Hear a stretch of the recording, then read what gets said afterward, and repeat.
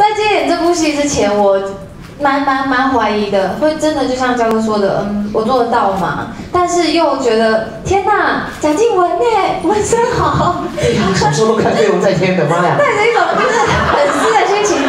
然后刚好这次我合作的是泽熙跟陈宇的对手戏很多，对，那我们与恶的距离其实呃，就像呃。玉玲姐啊，诗媛姐啊，导导演一直说的，我们没有办法给任何答案。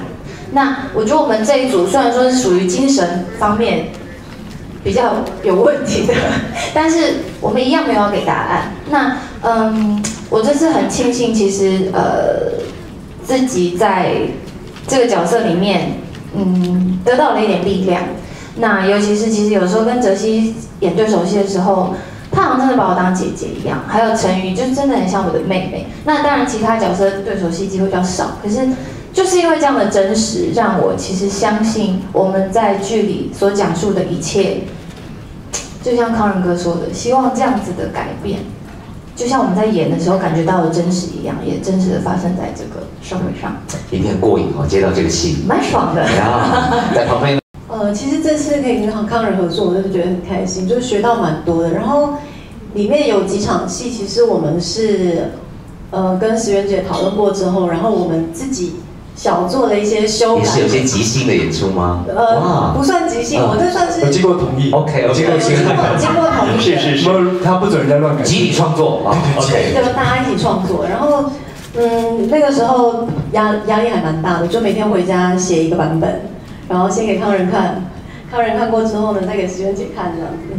哇，好认真，好用功。为什么会有这样的想法？是看着看着或拍着拍着，你对东西因为比较细致一点，所以当时就是希望说可以在更更多比原本写的东西，呃，以那个为基准点上再加上更多东西。哇，没想到才是不只会演，还要当妈妈，还当了这个编剧。哈，谢谢你哦。哦，就完十集了，对吗？对对。等一下。啊，怎么？戏里面怕被路人攻击，他都要戴着口罩，跟前场大哥都见不得人这种状态，对不对？这样有比较好。有有有，这样我就认得你。我刚想说你谁啊？是不是？好吧，请跟大家分享你的心得。来，没有，那因为时间不够嘛，就是演演这个角色，这个心境基本上就是 copy 我妈妈。没有啦，就是有一些状态，因为呃。